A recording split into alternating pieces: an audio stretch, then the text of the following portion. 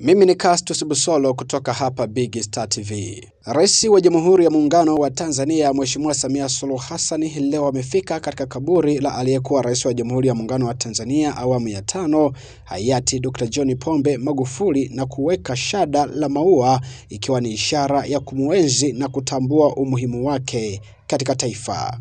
Rais Samia amefanya hayo hii leo Oktoba 14 mwaka 2021 alipokuwa njiani akielekea katika uwanja wa Magufuli wilayani Chato mkoani Geita kwa ajili ya kushiriki katika kilele cha mbio maalum za Mwenge wa Uhuru. Ikumbukwe hapo juzi Waziri Mkuu Mheshimiwa Kassim Majaliwa Majaliwa naye pia aliweza kufika katika kaburi hilo akiwa na mjane Mama Janet Magufuli na kutoa heshima au salamu zake ikiwa ni sehemu pia ya kutambua na kuthamini mchango wa hayati Dr. John Pombe Magufuli katika kuliinua taifa la Tanzania. Mimi ni Castus Busolo.